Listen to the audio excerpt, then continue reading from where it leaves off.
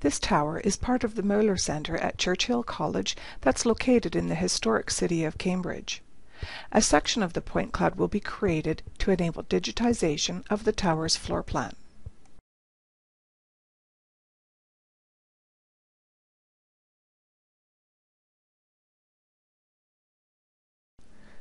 Create Quick Section is selected from the Section tab of the Point Cloud Presentation dialog. The tool settings are adjusted to create a horizontal section. And data points are entered to define the location and thickness of the section.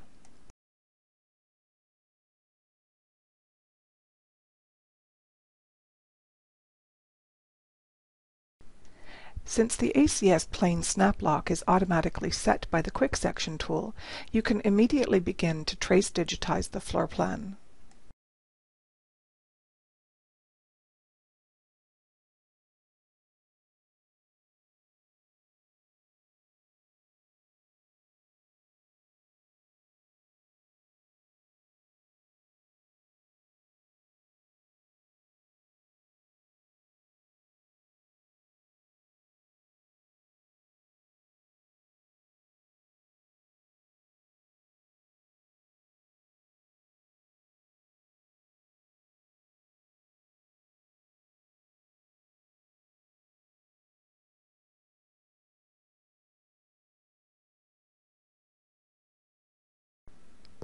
The end result is a planar element that lies perfectly on the section plane as defined by the Create Section tool.